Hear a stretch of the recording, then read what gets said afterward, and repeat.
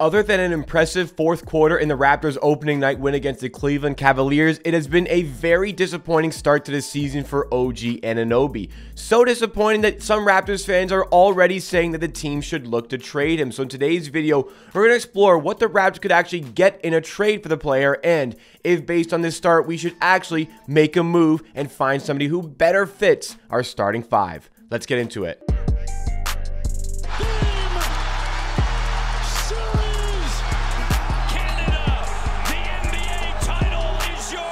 What's going on, NBA and Raptors fans? It's Jacob here back with Amateur Sports for another Toronto Raptors YouTube video. On this channel, I bring you the greatest coverage and analysis on the latest Toronto Raptors news and videos and content just like this. So if you like what you see from today's video, then make sure you are subscribed to the channel. You can help us on a road to 13,000 subscribers and drop a like on the video if you find yourself enjoying along the way. Let's get to 200 likes today. And remember to check out the watch parties for all of the Raptors games right here on Amateur Sports. But our video today, we want to talk about OG Anunoby. And I wasn't planning on talking about OG Anunoby in our video segment for today, but on the live stream yesterday, the watch party that we did in the Raptors, pretty bitter loss to the Miami Heat, where we fight back valiantly, but still end up falling as a result of a very poor second quarter. And in that live stream, obviously, OG Anunoby was not at his best yesterday for the Raptors. And a lot of the viewers were talking about how the Raptors should look to now move OG Anunoby in a trade. And beyond just the live stream, I've actually had replies on my Twitter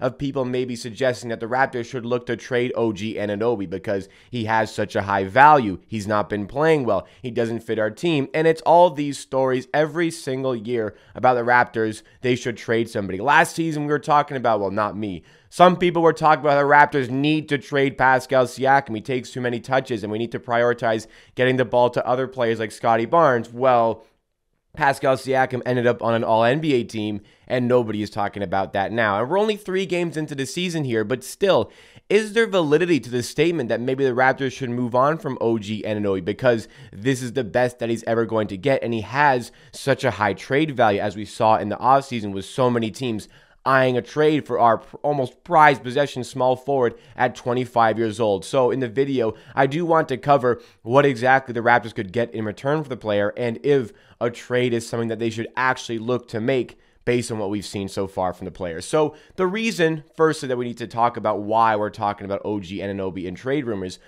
OG has struggled this season, but why has he struggled? Well, OG had talked a lot about in the offseason, and there were a lot of reports that were suggesting he wasn't satisfied with his role in Toronto and wanted to take on more of the offensive load for this team. This is somebody who is an excellent three point shooter, somebody who is very efficient from the field and, and is already one of the best on ball defenders in the NBA, but he wanted to add in more to his offensive game in his mid 20s, about to ascend into his prime. Can he take that next step? We've been waiting for this next step as Raptors fans for years and years and years. It has just not been forthcoming, but part of the process of doing this is testing out new parts of his game. Now, a lot of what I said in the offseason about OG was that something that really does hinder the Raptors on offense is OG taking contested mid range jumpers because it's an inefficient shot. He's not one of the better players in this team offensively that should be doing that consistently, like players like Pascal Siakam. He should eliminate that from his game. Well, instead, he has added on more of those shots to his game, and they are still not falling, and they have been quite ugly, actually. Watching OG try to take on players in isolation in mid range has been very ugly to see, and it's part of his struggles. Yesterday, OG shot 5 for 14 from the field. The game before that, he shot 3 for 9 from the field. It's just not been a very good look for OG in these back to back losses for the Toronto Raptors, and that is where these conversations are coming from. And in the offseason, we learned that there is a big market for OG Anunoby.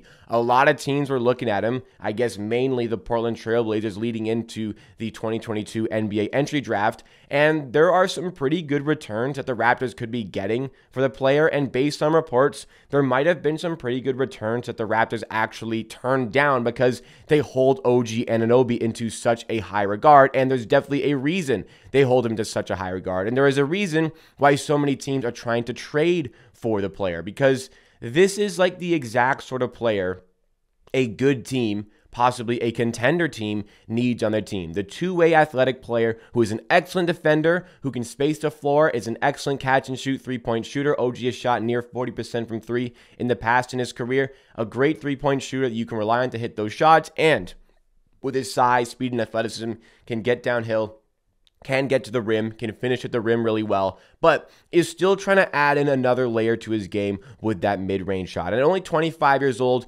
maybe that next developmental jump can be there. And maybe a lot of this this talk about OG getting to that next level were all the Kawhi Leonard comparisons that we've had in the past. And, you know, granted, I took advantage of these Kawhi Leonard comparisons before on my channel. I spoke about how OG can make that next leap. Now, I never said that he can get to a Kawhi Leonard sort of level. I didn't say that, but I did say this is somebody at 23 years old at the time with the capabilities of adding in that third level of scoring to his game to add in maybe 21 points per game at some point in his career. That seems something that was feasible, but with each passing year, it kind of seems like the ceiling for the player is just coming a little bit lower and lower. I'm not suggesting that this is the best OG Anunoby is ever going to be because I don't quite think it is, but I am suggesting that if it is the best he's ever going to be, well, you have a damn good 3 and D plus sort of player who can average 18, 19 points per game. And I say 3 and D plus because he's not just a 3 and D player. He does a little bit more offensively than just a 3 and D sort of guy, but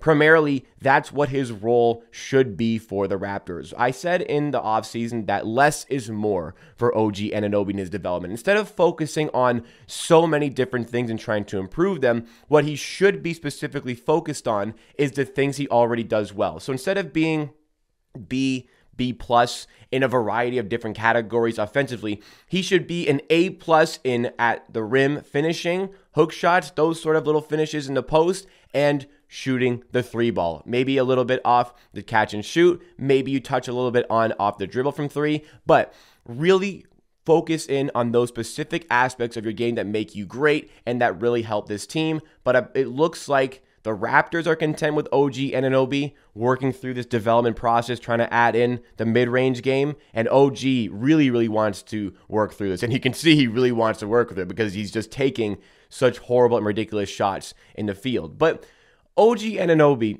as much as he hasn't been good in the last couple of games, and even wasn't good in the first three quarters of that first game, where he shot under 40%, well under 40% a couple of games ago as well in the last two games. It's been pretty ugly watching his shooting performances. In those games, though, the last two, like yesterday against the Heat, he shot three for six from three. And in the Brooklyn Nets game, he shot two for four from three. Very small sample size, but that's 50% shooting from three. That's good. And in the first game, he shot two for five from three, which is also 40%, which is also good. So that is something that has been working for him. He continues to be a very good three point shooter, but what's tanking his field goal percentages, as I mentioned, is just the deep twos, the contested twos. These are the things that are hurting his game, and they're also consequentially hurting the Raptors' game. So now fans are wondering if this is a player that we should actually look to explore trading. And any notion, any comment, any claim that the Raptors are better off by trading OG Anunoby are frankly quite laughable. I've laughed it off already, so I'll spare you any of those emotions today. But OG Anunoby is a 25 year old, and we're looking at the contracts around the NBA right now.